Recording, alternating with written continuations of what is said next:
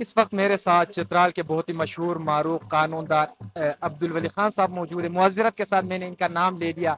ये भी आज फ्री स्टाइल पोलो देख रहे हैं। तो बेहद शुक्रिया और सलाम के साथ सर गुफ्तु का आगाज़ करते हैं। अस्सलाम वालेकुम सर। वालेकुम sir thank you very much thank you matches खेले जा रहे हैं सर तो इस हवाले से आप क्या कहना चाहेंगे? आ, ये ढाई बजे तकरीबन हम यहाँ आए हैं आपने देखा है। इस मौसम में एक आदमी जब अपना आराम, दिन का सुकून, नींद छोड़ के जब आता है तो उसकी दिलचस्पी से आप मेरे ख्याल में बेहतर तरीके से आप अंदाज़ा लगा सकते हैं कि एक जम गफीर जो यहाँ जमा हुआ है। और मैं अभी थोड़ी देर पहले एक दूसरे दोस्त को मैं इंटरव्यू देते हुए मैंने कहा था कि यहाँ जो बंदे स्टेज पर बैठे हैं, यहाँ जो ऑफिसर्स बैठे हैं, जो यहाँ पोलू के कमिटीज बैठे हैं ये कोचिस मोचिस जो बैठे हैं इन सबसे मोहतरम और सबसे ज़्यादा काबिल इज़्ज़त बंदा वो है जो इस फर्श पर बैठ बैठ के जो पोलू देखता है। असल में उसकी वजह से इस पोलू की रौनक। ये तमाशाई जो यहाँ हैं जो क्लैपिंग करते हैं जो आवाज़ें देते हैं जो शाबाश देते हैं जो अपनी खिलाड़ियों को उनके हौसले बढ़ाते हैं सबसे ज़्यादा इज़्ज़त और एहतराम के लायक ही तमाशाई। सर बात कर रहे थे तमाशाइयों के मुताबिक, जो फर्श पर बैठते हैं, बैठने के लिए जगह भी नहीं है। इन लोगों की वजह से जो है, ये खेल हमारे चित्रा इसकी रौनक है और ये खेल ज़िंदा है। वाकई सर, आपने बहुत ज़बरदस्त बात की। They all are very respectable and they all are very close to our heart sir तो आगे बढ़ते गुफ्तु को आगे बढ़ाते। सर, आपका बेटा खालिद बिन्नी वली आज वो इस दुनिया में नहीं है। अल्लाह ताला उनकी कामिल मुआफरत फरमाए। वो चित्राल के जितने भी स्टूडेंट्स हैं उनके लिए एक रोल मॉडल था। पीएमएस ऑफिसर था शायर था इसके साथ साथ फ्री स्टाइल पोलो का ज़बरदस्त खिलाड़ी था। तो उनकी कमी को मैं पर्सनली बहुत ज़्यादा महसूस कर रहा हूँ।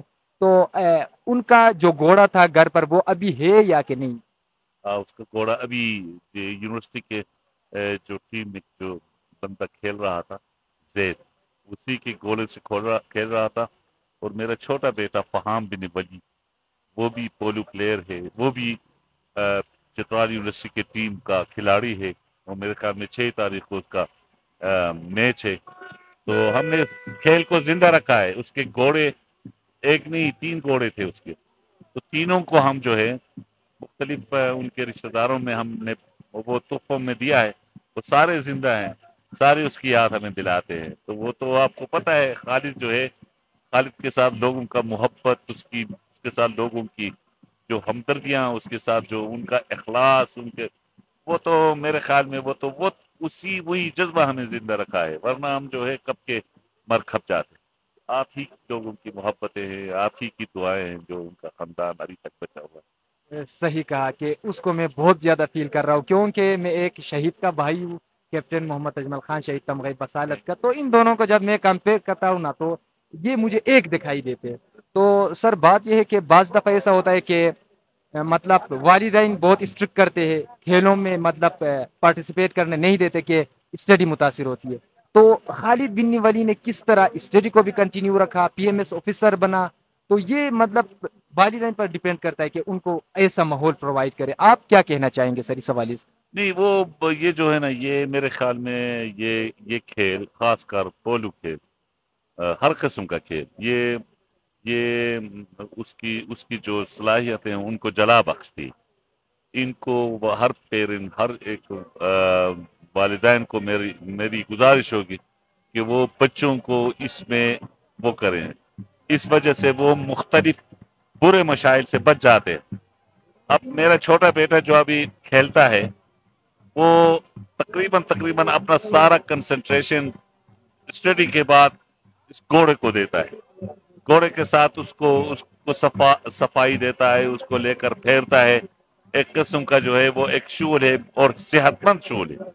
तो मेरे ख्याल में ये जो है घोड़ा पालना, घोड़े घोड़े, घुड़सवारी करना, पोलू खेलना, ये जो है ना जी, इसमें इसमें उसकी सलाहियतें जो है जी मजीद निकल जाती तो मैं इसमें कतन जो है, मैं बुखल नहीं करता, मैं अपने बच्चों को, मेरे सारे बच्चे जो हैं, वो खेलते हैं और मैं उनको उसमें खुशी महसूस करता हूँ।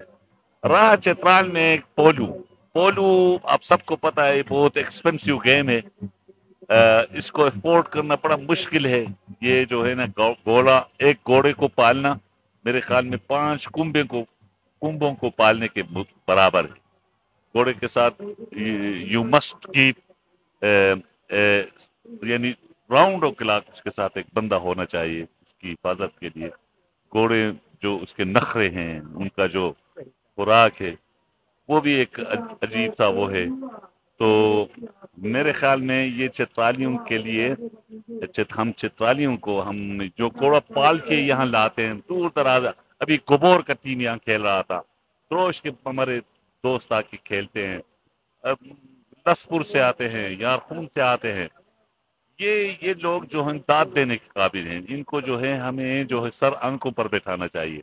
और मैं चित्राल प्रॉपर के जो लोग हैं जो साहिब हैसियत लोग हैं, इनको भी मैं रिक्वेस्ट करूँगा कि जो हमारे अपर चित्राल के जो दोस्त यहाँ आते हैं कोश से आते हैं पूनी से आते हैं कोहकीर से आते हैं, लसपुर से आते हैं, तुर्कों से आते हैं त्रोश से आते हैं, उन लोगों की ये ये जो है खदमत करें, उनको जो है दावतें उनको दे दें, उनके घोड़ों के लिए जो है जगह मुहैया करें, उनको जो खुराक और जो हमारा जो है, जौ ये खाते हैं और मुख्तलिफ़ भूसे मुँह से ये ये ये प्रोवाइड करें। वरना जो है ना, ये खेल हमसे वो होगा। ये खेल जो है ना, हमारी शुनाख्त है। हम इस खेल की वजह से, शंदूर की वजह से फ्री स्टाइल पोलो की वजह से जो है, हमारी एक शुनाख्त है। और इसको हमारे अजदाद ने जिस तरह पाला पूसा है, हम भी इसको जो है ना, इसी तरह हम हमने इसको प्रिजर्व रखना है, इसको प्रोटेक्ट करना है। इसको मजीद इसको जो है ना प्रोमोट करना है बहुत ही खूबसूरत बातें कर रहे हैं मेरे साथ मौजूद है चित्राल के मशहूर मानून मशहूर मारूफ कानूनदान अब्दुल वली खान साहब। क्योंकि ये मेरे अंकल का भी टीचर रहा है अहमदुद्दीन एडुकेट का। और सर मैं आपका बहुत ज़्यादा मशहूर हूँ ममनून हूँ आप, आपने अपनी मसरूफियत से वक्त निकाला और 91 न्यूज़ चैनल को आपने वक्त दिया।